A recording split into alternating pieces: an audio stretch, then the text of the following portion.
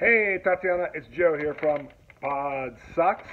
Wanted to reach out and give you a special thank you for your recent order.